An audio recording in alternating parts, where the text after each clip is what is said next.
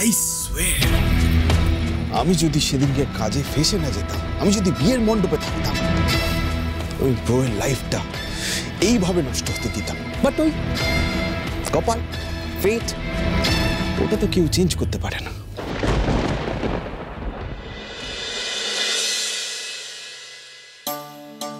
Sorry go please কিছু মনে করো না। মানে আমি না অজান্তে এসব করে ফেলেছি। ইনফ্যাক্ট তোমাকে টাকাও দিতে গেছি। প্লিজ কিছু মনে করো না। না না, আমি কিছু মনে করিনি।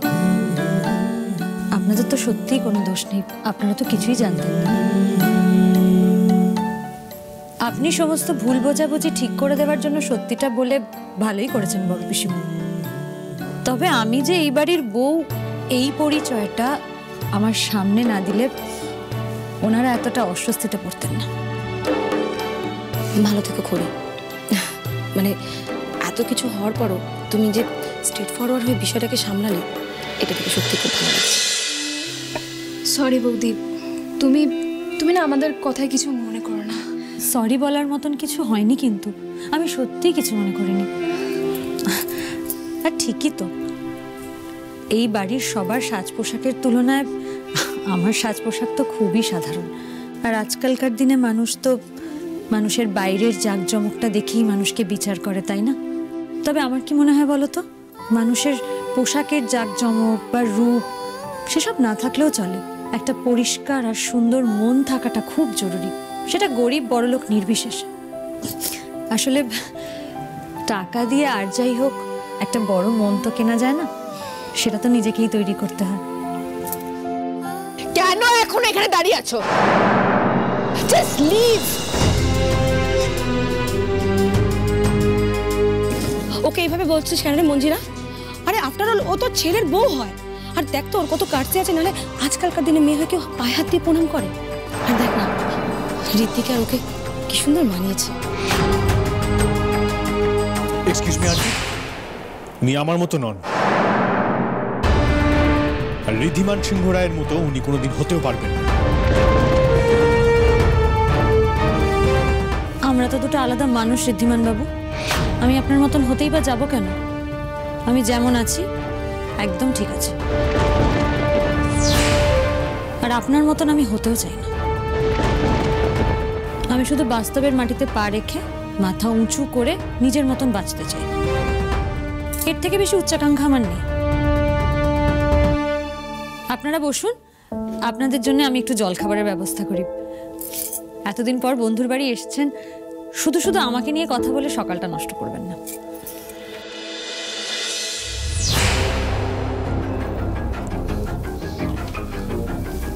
তুই যদি সেদিনকে বেনিফিট অফ ডাউটের চক্করে একে এই সুযোগটা না দিতিস, তাহলে কিন্তু তনয় আন্টিদের সামনে আমাদের পরিবারকে এইভাবে হিমিলেট হতে হতো। ও কিন্তু ইচ্ছে করে ওদের সামনে এইভাবে এসে তোকে আর বড় মামিকে হিমিলেট করল বুঝতে পারলি সেটা?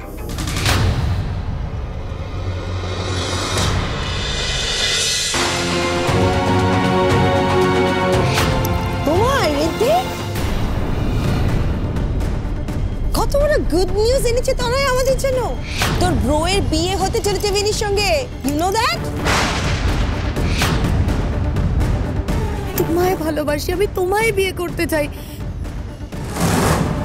যে মানুষটাকে ছোট থেকে আপনি বিশ্বাস করে এসেছেন নিজের সবচেয়ে কাছের বন্ধু ভেবে এসেছেন সেই আপনার সাথে সবচেয়ে বড় শত্রুতা করেছে। রাহুলের বিয়ে? আরে আজকে এত একটা ভালো দিন। আজ মিষ্টি মুখ না করি আমি ছাড়বো না। আর হবু বেয়ানকে কিছুতেই রিফিউজ করা যাবে না। You have to come on come on না, না, না, ওয়ান আজকে bite one bite one bite আমি তাহলে আজই পুরোহিত মশাইকে বলে এনগেজমেন্টের জন্য একটা দিন এই সপ্তাহের মধ্যে ঠিক করে ফেলি কেমন? হ্যাঁ মা আমি ঠাকুরমশাইকে খবর দিয়ে দিচ্ছি। উনি আজকে আসলে আপনি কথা বলে নেবেন।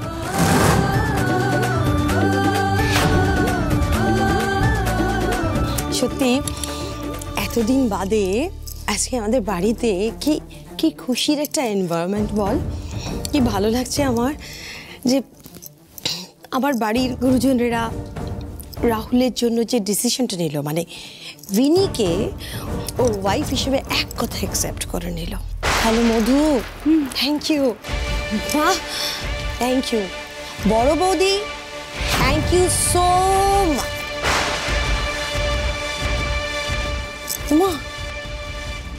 এ কি Riddhi what's wrong with you তোর বউয়ের আজকে এনগেজমেন্ট ফিক্স হচ্ছে কি মিষ্টি সুন্দর একটা মেয়ে কি ভালো family background you are not happy with this No, of course.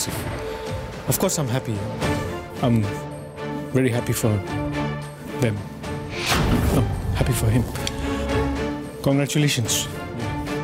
Thank you bro if you are so happy তাহলে এরকম মুখ গোমরা করে দাঁড়িয়ে আছিস কেন go celebrate with your bro enjoy it of course বড় পিমনি। এনজয় তো করবই। সেলিব্রেট তো করবই। আমি তো সবসময় রাহুলের ভালো চেয়ে এসেছি। It's high time he settles down specially যখন বিনির মতো এত ভালো মেয়ে লাইফ পার্টনার হতে চলেছে। তুই এটাই চাস তো রাহুল? না মানে হ্যাঁ এটাই চাই। এইটাই চাই। আর কি চাই? হোয়াট ইজ দিস এটা কীরকম প্রশ্ন হ্যাঁ? না, আমি তো জানতাম যে ঋদ্ধি রাহুলের মুখ দেখে ওর মনের কথা জেনে যায়। তুই বুঝতে পারছিস তো তোর ব্রোয়ের মুখ দেখে? জোর ভেনিকে পছন্দ হয়েছে?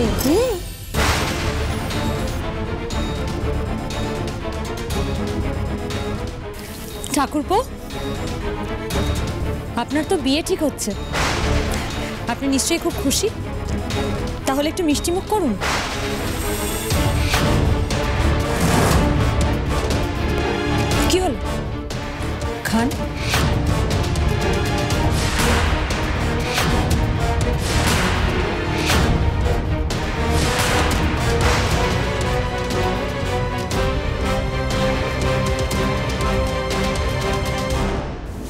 দিদি? কোথায় হারিয়ে গেছো? কি এত ভাবছ বলো তো? না না তেমন কিছু নয়।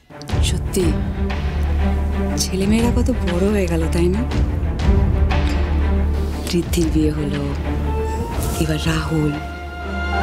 আর কদিন পরে হয়তো আমার কুণালের জন্য পাত্রী দেখতে হবে।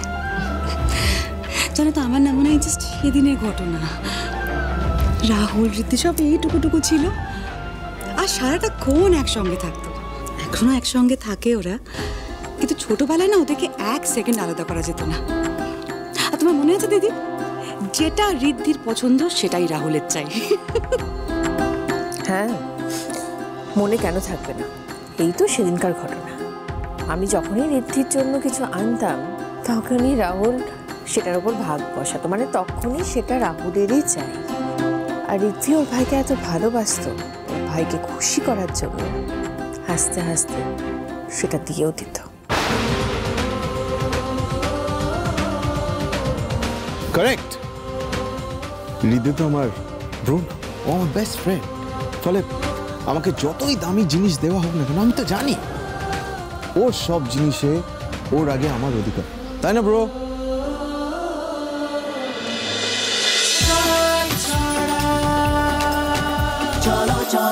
স্টার জলসায় ও ডিজনি প্লাস হটস্টারে